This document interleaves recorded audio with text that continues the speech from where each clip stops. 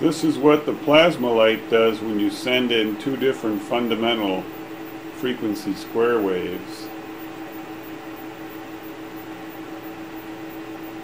And they are a little bit different in frequency from one another. Begins to pulsate.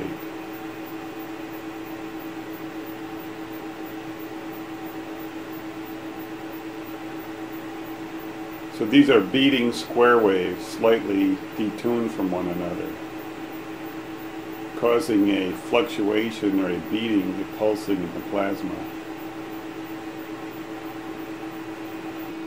You can see the meters. We get a power fluctuation.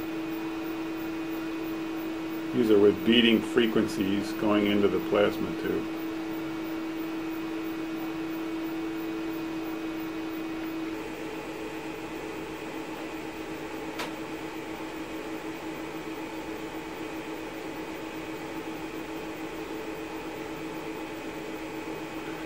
I wonder what effect this would have on an organism.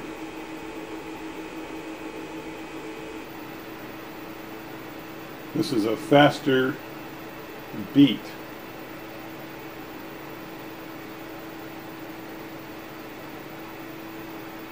Two square waves being sent in of different frequencies causing a beating effect.